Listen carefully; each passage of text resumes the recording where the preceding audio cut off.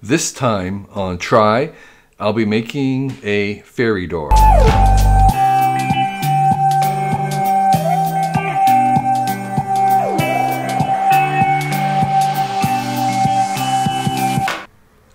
In our neighborhood, we have a lot of very large trees, and some of them have little recesses and caves that suggest there might be a fairy living inside. All they need is a door. So I took a crayon and scribbled around the outlines of one of those recesses to transfer to some paper.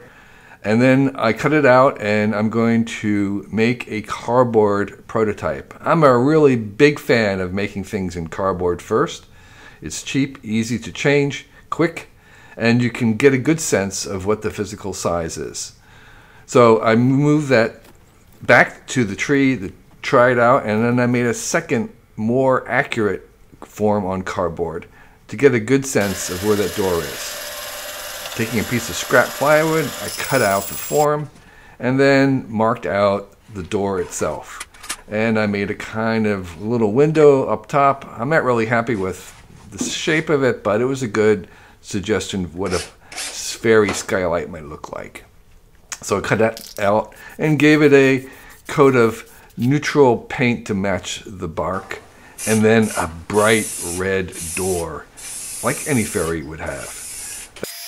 If you have a door, you need your name on the door. So I found a piece of oak and I'm carving a label on the outside of it. And unfortunately, it was a little uneven because of the oak. Um, but I've sprayed it black and now I'm going to um, sand off the um, outside of the black with a temporary glue to a piece of plywood so I could put it on my big sander. And as you can see, the end result is a um, black recessed letters. Um, here I'm hammering some copper brads on it. And then I found some old um, hinges, which I'm marking up and setting the door with plenty of clearance.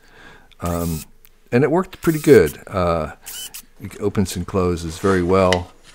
I looked through my junk box to see if I could find a knob, and I found an old kitchen knob sample that is kind of pretty and looks like something a fairy might use. And I attached in, and um, I kind of like the result. It looks pretty cool. I made a little metal latch out of some scrap aluminum. I put that on an eye hook to um, keep it locked. And that's the final result. Um, finally, I added some um, decorative planking just using um, a marker um, to give a sense that this was made out of um, old pieces of board. So we install it. I go back to the tree and um, put it in. Uh, I had some weird side holes to mount it because there really wasn't anything to screw into directly behind it. I'm really not that happy with how it looks, but it works. And every hole, of course, will be a little different. This one says that at the base of this very large tree is a very special place. Come closer, look at it. It's the home of a fairy. There's a secret door. If you open the door and look inside, you may find it.